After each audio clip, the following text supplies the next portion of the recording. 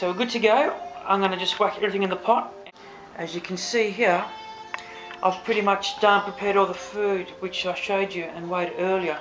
On top of that, I've got a can of um, tomatoes there, 800 grams. Uh, the um, tomatoes in the markets for $6 a kilo.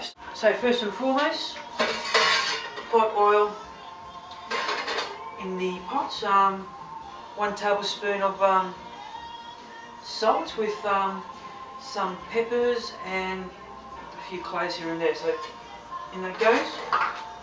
Mix it up. You it sizzle away. In goes the, the garlic.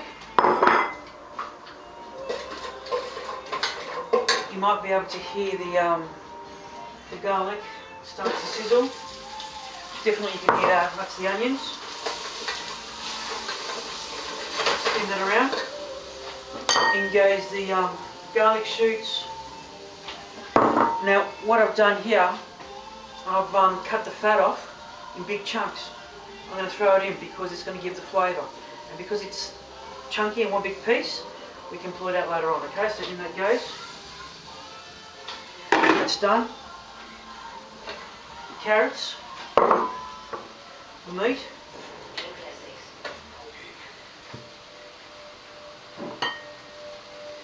celery, chunks. This is going to be huge. Okay, we're just going to spin it around.